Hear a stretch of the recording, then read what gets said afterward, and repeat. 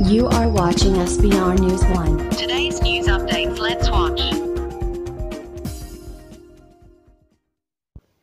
इस वक्त आप देख रहे हैं S B I news one channel देखिए नजरीन अभी Syed Ejaz vice chairman Bengaluru district के उन्होंने आज सैयद सुल्तान को गुलपोशी की Syed Sultan Indian reporter association के कर्नाटका स्टेट प्रेसिडेंट रहे देखिए नजरिन, इन तस्वीर को आप देख सकते हैं।